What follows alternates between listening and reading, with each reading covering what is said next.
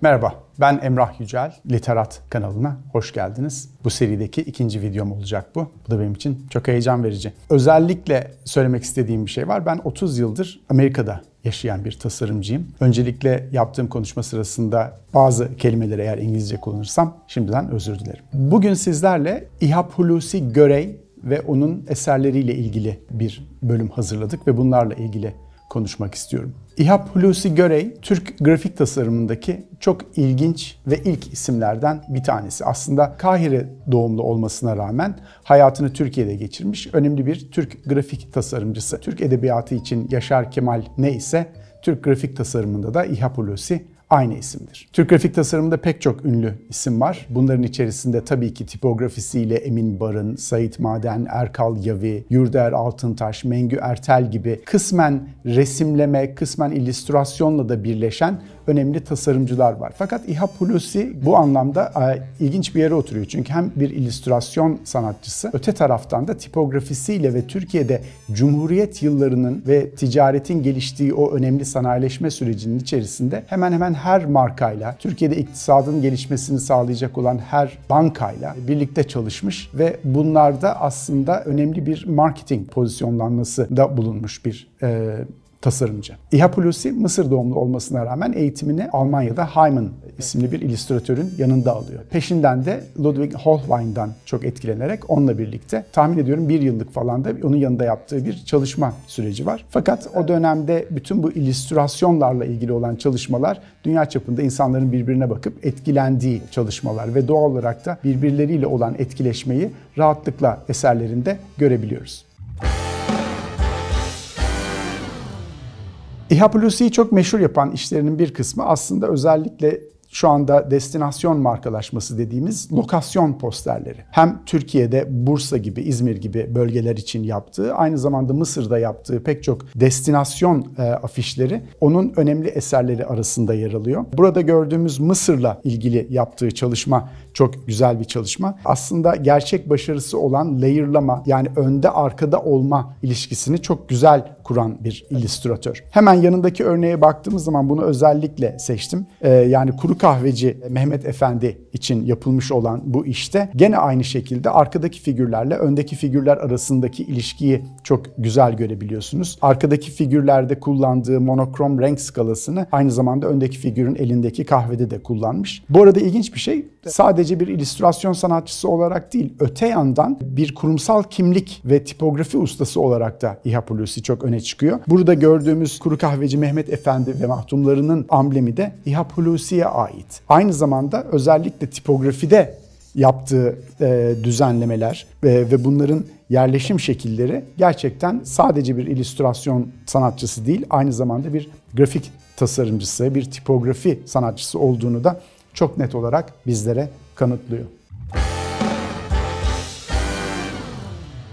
Yine bir destinasyon markalaşması örneği Yalova için yaptığı bir eş. Yine aynı şekilde bahsettiğim gibi önde arkada e, ki o layer'lama ilişkisini çok hoş kurmuş. Gene tipografiye dikkatinizi çekerim. Muazzam bir tipografi var burada. Buradaki işini çok beğeniyorum. Yani birazcık dramatik bir iş. Eroin ve akibeti posteri. E, Yeşilay için yapılmış bir proje.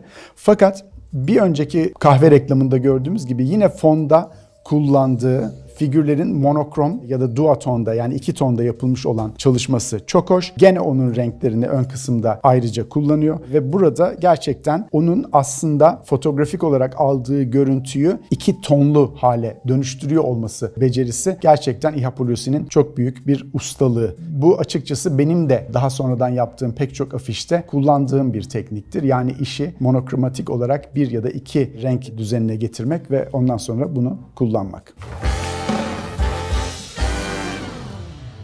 Yine ilginç bir iş. Çünkü sadece bir ürün satılması değil aynı zamanda politik platformda da yapılmış önemli işlerden bir tanesi. Tabii ki Cumhuriyet döneminin bir illüstratörü olarak doğal olarak Cumhuriyet Halk Partisi ve o dönemle ilişkili yapılmış olan siyasi e, projelerde de yer almış İHA Hulusi. Yine dikkatinizi çekiyorum. Yani buradaki bütün bu renk ilişkileri, önde arkada olmaları ve bütün e, eserlerindeki insanların aslında özünde fotoğraflanmış, sonradan illüstre edilmiş halleri de çok önemli. Aynı zamanda döneme ait tipografiler de gene kendisini öne alıyor. Bu arada mesela Ü ve Ö harfleri biliyorsunuz İngilizce'de olmayan harfler olduğu için bunların noktalama işaretlerini yerleştirme şekli de çok ilginçtir.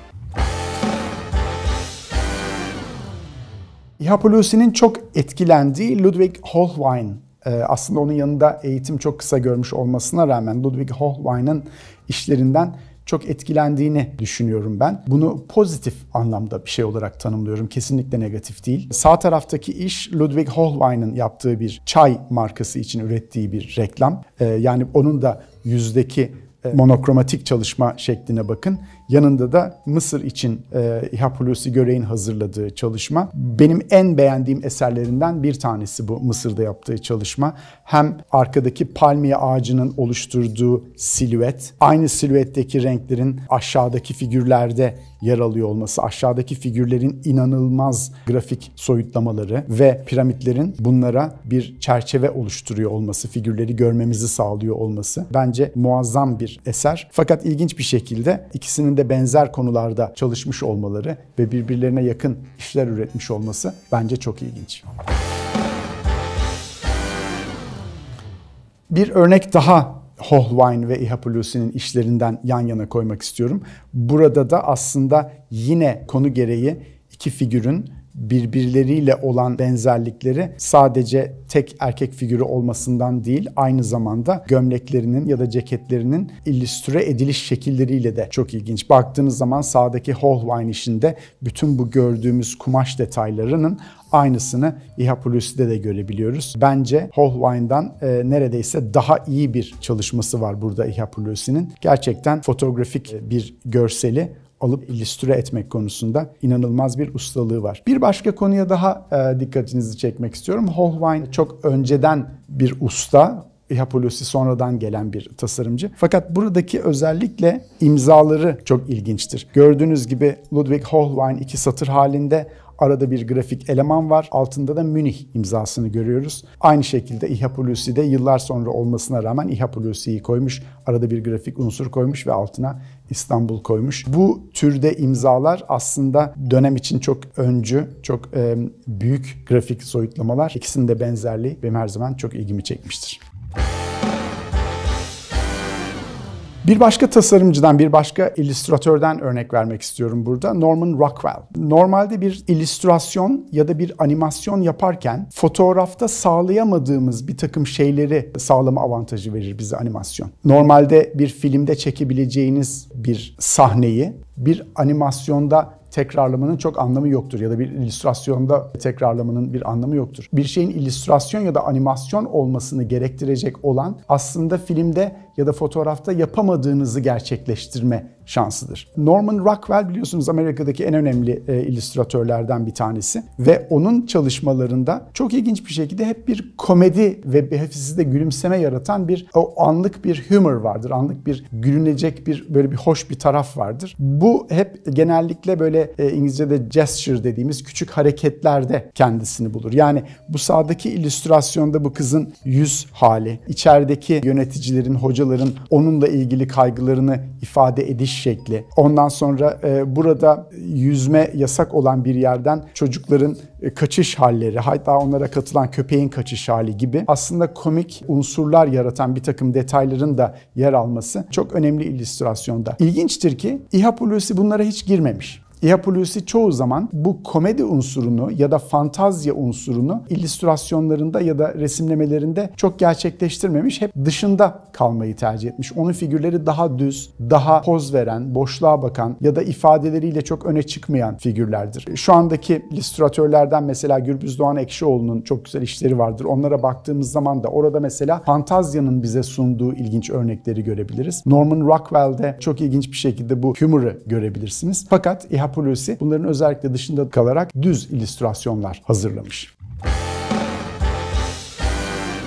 Norman Rockwell'in ve o dönemin illüstrasyonlarının aslında bir de ilginç bir tarafı var. Dediğim gibi bunlar hep fotoğraftan hareketle hazırlanıyor. Ihapolusi'nin işlerindeki özellikle Milli Piyango için ürettiği işlerde, İş Bankası için, Beykoz Kunduraları için, Sümer Bank için, Ziraat Bankası için ürettiği işlerin hepsinde hep böyle bir fotoğraftan hareketle işler hazırlandığını görebiliyoruz. Norman Rockwell'in bu meşhur illüstrasyonunda da gördüğünüz gibi net bir fotoğraf hazırlanmış. Buradaki tipler birazcık daha tabii değiştirilmiş illüstrasyonda. Yani özellikle bu arkadaki servis yapan elemanın genç nişanlı çiftin elindeki yüzeye bakış ifadesinin illüstrasyonda nasıl abartılabildiğini görebiliyorsunuz. Ya da çocuğun sırtının dikliğine, buradakinin eğimine bakın. Burada o diklik aslında ne kadar böyle bir hazır olma ve hazırda olma hissiyatını veriyor. Bunlar çok hoş detaylar ve fotoğraftan faydalanarak illüstrasyon yapma meselesi her zaman dönemin prensiplerinden birisi olmuş. Aynısının bir benzerini şu anda vereceğim örnekte Yapolusi'de de görebiliriz. Bu İHA Hulusi'nin en meşhur işlerinden bir tanesi. İHA Hulusi e, bildiğiniz gibi kulüp rakısının yani Tekel'in uzunca yıllar eski ismiyle Milli İnhisarlar e, İdaresiydi galiba. Sonradan Tekel oldu. Sonradan da May ve Diageo bu markanın sahipleri. Kulüp rakısı e, Cumhuriyet döneminin en önemli markalarından bir tanesi. Aslında neredeyse tek başına Cumhuriyet döneminin temsilcisi olmuş bir görsel ve özellikle kulüp rakısı da bunun başını çekiyor. Bu etiketle ilgili konuşulan çok şey olmuş. Bunlardan bir tanesi buradaki figürlerin, bu iki figürün kim olduğu meselesi üzerine kurulmuş. Hatta böyle bir takım şehir efsaneleri var. Bunlardan bir tanesinin Atatürk, diğerinin İsmet İnönü olduğuna dair. Fakat değil. Buradaki iki erkek figüründen bir tanesi e, İHA Hulusi'nin tam kendisi ve diğeri de çok sevgili arkadaşı Fazıl Ahmet Aykaç, Fazıl Ahmet Aykaç hem bir evet. milletvekili Elazığ'dan hem de çok önemli bir şair aslında. Bu ikisinin arkadaşlıkları bu etikette de ölümsüzleşmiş ve her ikisi 100 yıldan beri kulüp rakısının etiketinde yan yana yer almışlar. Birazcık e, kulüp rakısı hakkında size bilgi vermek istiyorum. Dediğim gibi kulüp rakısı Cumhuriyet'in en önemli eserlerinden bir tanesi. Hatta o döneme ait en önemli ikonlardan bir tanesi. Kulüp rakısının içeriği en önemli şeyi aslında 50 derecelik bir içki olması. Bu o dönemde de şimdi de en önemli, en ağır içkilerden bir tanesi, rakılardan bir tanesi. Bu anlamda aslında gerçekten hani kulüpte içilen ve beyefendilerin içtiği bir rakı gibi tanımlanmış. Gene burada ilginç bir tipografi var. Kulüp rakısı tipografisi. Birbirine geçmiş harflerden oluşan divitle yazılmış bir tipografi var. Benim bu markayla kişisel olarak alakam e, aslında çok ilginç bir hikaye. Bundan yaklaşık bir sene önce Mediaggio kulüp rakısının yeni bir versiyonunu çıkartmak üzere benimle bağlantıya geçtiler. Benim için çok gurur verici bir proje tabii ki. Çünkü 100 yıl önce İHA Hulusi'nin tasarımını yaptığı böyle bir markanın yenisinin tasarımını yapmak üzere seçilmiş isim olmak benim için çok önemliydi.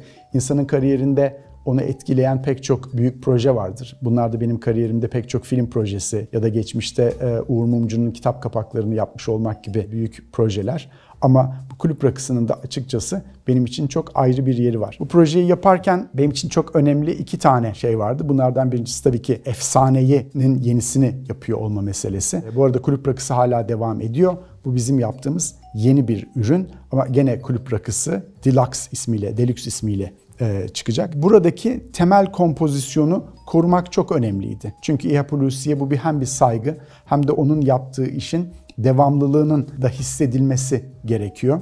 Yine biz böyle bir ikili figürle, böyle bir bardaklara ulaşan kollarıyla smokinli bir figür yaptık. Ellerindeki kadehler e, çok önemli kadehlerdir. Bülbül ağzı dediğimiz bir kadeh tipi bu. Bu iş için özel olarak üretilmiş. Buradaki renk ve tipografik yaklaşımı ve en önemlisi de Art Deco stili bizim de kendimize örnek almamız gerekiyordu.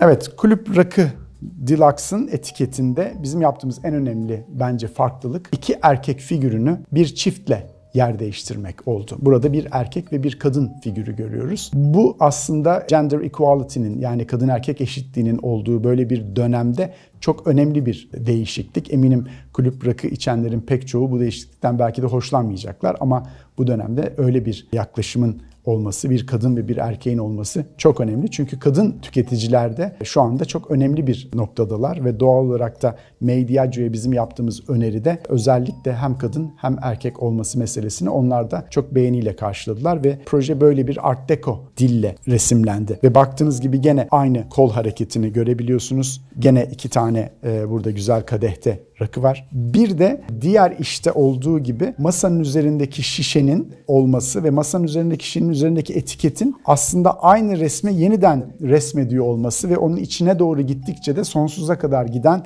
bir yapının oluyor olması da çok böyle bir ilginç bir anlamı olan bir şey. Bir nokta daha var. İkincisi buradaki renk kodları yani kırmızının introduce edilmesi. Bir öncekine baktığınız zaman da görebiliyorsunuz. Orada kırmızıya yakın bir ton. Burada bizimkinde tamamen kırmızıya döndü. Aslında resmin tümünde ilginç bir dalga hatta kadının da saçlarıyla birleşen ilginç bir dalga efekti görüyoruz. Bu genel olarak kulüp rakının yarattığı hisle de çok alakalı. Önümüzdeki dönemde hem şişesinde hem de böyle bir kutusuyla, rapiyle tahmin ediyorum İstanbul'daki rakı masalarında fazlasıyla göreceğimiz bir görsel olacak bu. Bunun da içerisinde imzamın olmasından çok mutluyum. Cumhuriyet döneminde belirli prensiplerle üretilmiş pek çok iş aslında bugünkü büyük markaların, bugünkü var olma sebebimizin altyapısını oluşturuyor. Baktığınız zaman bunun içerisinde köy enstitülerinden tutun da şu anda gerçekten ülkemizi ayakta tutan pek çok kurumun da temelleri o dönemde atılmış. Ve bu dönem içerisinde yapılmış olan her türlü devrim, yenilenme hareketi aslında bugünü oluşturmuş ve çizmiş. O yüzden ben bunu çok önemsiyorum. Yani Cumhuriyet'in 100. yılında geriye dönüp de o dönemdeki değerlerin atıyorum tarım ekonomisinin, iktisadi kalkınmanın, Türk yerli mallarının ve Türk mallarının yurt dışına açılmasının, temel bir takım kuruluşların yani bunların içerisinde Türk Hava Yolları da var, Devlet Demir Yolları da var, şeker fabrikaları da var, cam fabrikaları da var. Bütün bunların hepsinin doğru bir şekilde altyapılandırılması çok önemli ve bunun o dönemde çok doğru yapıldığını düşünüyorum. Şu anda her şey çok özelleştirildi, başka yerlere doğru gitmeye başladı ama bence burada altyapısını korumaya çalıştığımız Cumhuriyet'in değerlerine ülkemizin tekrar bir geri dönüp bakması, değerlerini bilmesi gerekiyor. Bu bölümde sizlere e, İHA Pulusi'yi ve onun yaptığı işleri ve bu önemli Türk grafik tasarımcısını anlatmaya çalıştım. Benim için her zaman bir rol modeli olmuş bir e, tasarımcı. Umarım sizler de bundan zevk aldınız. Teşekkür ederim.